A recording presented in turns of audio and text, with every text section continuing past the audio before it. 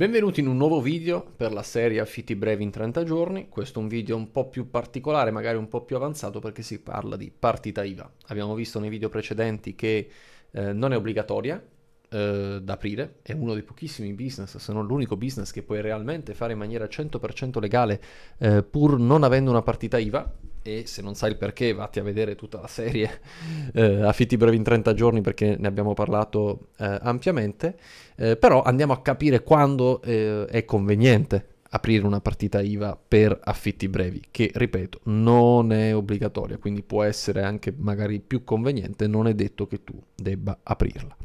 Innanzitutto partiamo dal presupposto che la gente ha paura di aprire la partita IVA. Perché? Perché eh, la nomea, la leggenda metropolitana della partita IVA è che ti faccia pagare un sacco di tasse. Sì, ma non eh, sempre. Ecco, diciamo così, sì, ma non sempre. Nel senso che una partita IVA ordinaria sicuramente ha una pressione fiscale importante, ma la partita IVA eh, forfettaria, che si può aprire sino ad un guadagno di circa 85.000 euro l'anno, eh, ha invece dei, dei, dei costi molto vantaggiosi. Ragazzi, 85.000 euro l'anno comunque sono diverse migliaia di euro al mese. Di preciso, io e la matematica non siamo bravissimi, ma se uno fa 85.000 euro l'anno significa che al mese fa una media di 7.000 euro eh, di fatturato. Se questo fatturato viene ad esempio generato come property manager, dove praticamente non hai costi, sono 7.000 euro praticamente puliti che ti metteresti in tasca, devi pagarci queste tasse che adesso vedremo, però significa che con un forfettario puoi arrivare tranquillamente a metterti in tasca 5.000 euro netti se non anche di più. Quindi comunque ragazzi 5.000 euro netti con una tassazione bassa è eh, un ottimo vantaggio ed ecco perché dicevo prima eh, non è obbligatorio aprire la partita IVA ma talvolta può essere vantaggioso. Mi sono segnato qua un po' di appunti per non dimenticarmi eh, niente. Detto ciò, L'ordinaria non la andiamo a trattare perché, ripeto, è un tema troppo complesso. Dentro BNB Academy abbiamo dei video realizzati con lo studio allievi, che è il nostro studio di commercialisti eh, partner. Eh, quindi sia forfettario che ordinario che forma non imprenditoriale viene analizzata in maniera veramente oserei dire estenuante, cioè nel minimo dettaglio ma per fare un riassunto oggi ci focalizziamo sulla forfettaria. Forfettaria che viene anche eh, chiamata comunemente regime dei minimi, ehm, cioè è veramente molto conveniente.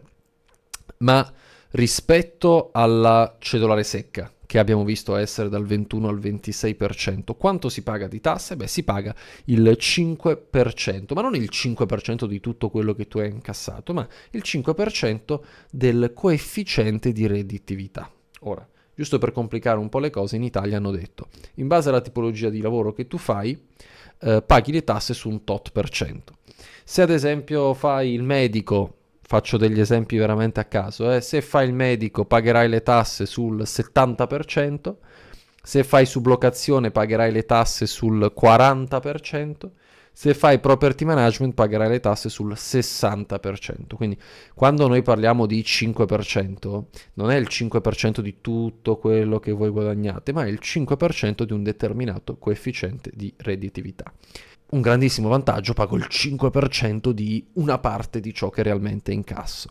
Uh, lo svantaggio dall'altra parte è che non si scaricano le spese, quindi non è che io vado a dedurmi l'iPhone che posso essermi comprato o uh, un'eventuale auto aziendale, però uh, chiaramente questo è diciamo, il contro di avere una tassazione così agevolata, ma comunque rimane molto conveniente anche perché soprattutto in property management, lavorando ad investimento zero, praticamente noi non abbiamo costi.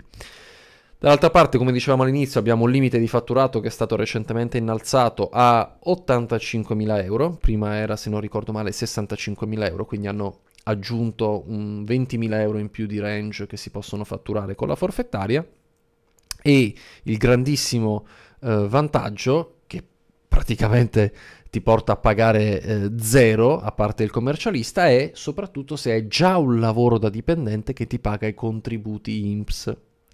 Perché dico ciò? Perché ehm, ovviamente quando hai la forfettaria devi pagare anche i contributi INPS in percentuale o con un importo fisso, ma se la forfettaria te la apri diciamo come secondo lavoro eh, e hai già un lavoro da dipendente che ti paga i contributi, a quel punto i contributi non devi pagarli e letteralmente paghi 2 lire di tasse.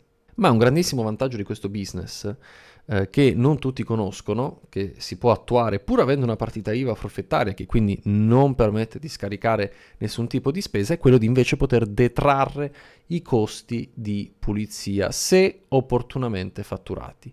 Una circolare dell'Agenzia delle Entrate infatti dice che se le pulizie sono state appunto fatturate possono essere detratte, quindi se io ho fatturato 1200 euro, di cui 200 sono pulizie, io effettivamente vado a pagare le tasse solo su 1000 euro.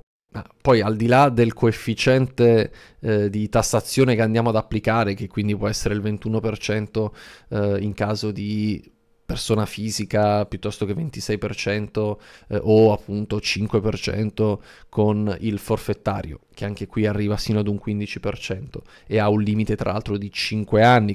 Quindi questa agevolazione in realtà non potete averla per sempre, però per 5 anni. Diciamo che in 5 anni potete raccogliere un, un, bel gruzzoletto. Il vantaggio in realtà più grande, secondo me, non è tanto il risparmio fiscale, che poi è soggettivo, e vi consiglio di parlarne sempre con un commercialista in gamba come lo studio allievi che è il nostro partner eh, ufficiale, ma il vantaggio più grande secondo me è quello di avendo una partita IVA, poter offrire anche servizi aggiuntivi.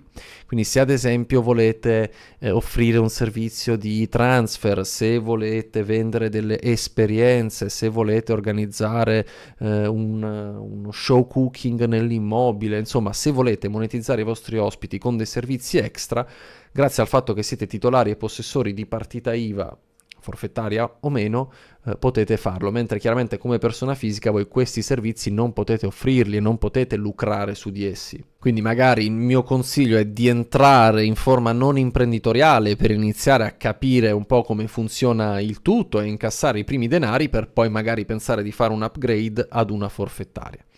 Giusto per dare un accenno, poi ovviamente oltre una certa soglia può convenire l'aprire una partita IVA ordinaria, o meglio ancora una SRL, perché? Perché ti permette di fare eh, deduzioni di tutte quelle che sono le spese, ti permette di separare il tuo patrimonio aziendale dal tuo patrimonio personale, la tassazione in questo caso è intorno al 27% solamente sul netto, poi ci sono tutta una serie di imposte dirette e indirette e ovviamente ci sono costi fissi maggiori. Quindi abbiamo in realtà tantissime persone all'interno della community BNB Academy che sono passate ad SRL, però perché hanno portfogli comunque nell'ordine delle decine se non centinaia di proprietà.